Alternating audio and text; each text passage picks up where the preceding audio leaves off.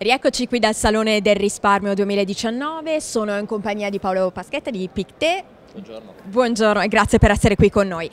Il tema ovviamente lo stiamo ripetendo, ma ripetita Juvan si dice, eh, la sostenibilità è appunto al centro di questo salone di quest'anno, sostenibilità che però Picte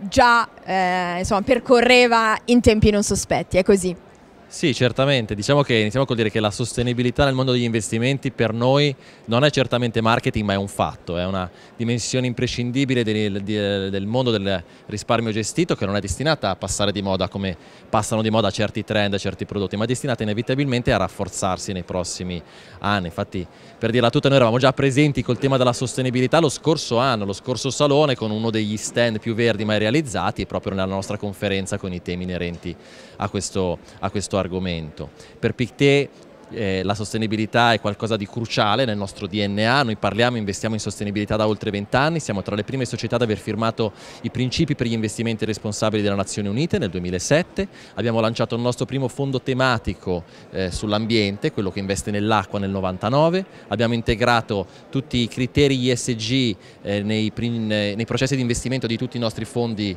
di investimento e siamo classificati da società di ricerca indipendenti come tra le più importanti società di gestione del risparmio in Europa per quanto concerne gli investimenti sostenibili. Quindi questo un po' definisce quello che è il framework della sostenibilità per la nostra azienda. Lo possiamo anche testimoniare noi perché in un recente sondaggio che eh, attraverso la nostra rivista Asset Management abbiamo realizzato attraverso i consulenti finanziari eh, italiani effettivamente il sentiment è che Pictet sia veramente eh, la società di risparmio gestito in Italia che investe di più in ESG, per cui abbiamo anche dal lato nostro avuto questa ulteriore riprova.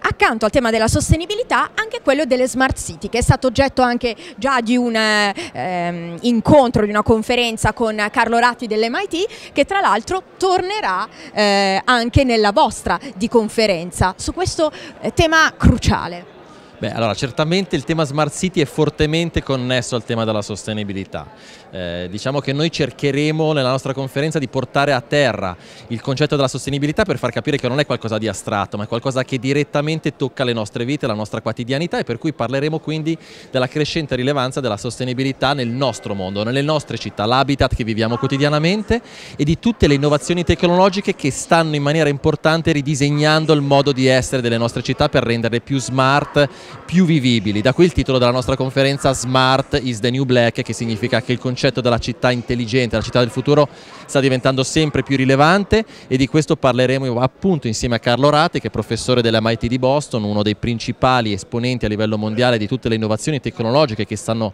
rendendo eh, più intelligenti le nostre città e anche insieme a Roberta Cocco, che è l'assessore del Comune di Milano, responsabile per la trasformazione digitale, colei che sta rendendo sempre più smart la nostra bella bella città. Infatti abbiamo avuto anche il piacere di avere ospite eh, l'assessore Cocco eh, anche sulle fonti tv eh, eh, a proposito in quel caso di fintech e blockchain, quindi insomma siamo sempre connessi. Io ringrazio nuovamente il nostro ospite per essere stato qui con noi, non mi resta che restituire la linea allo studio.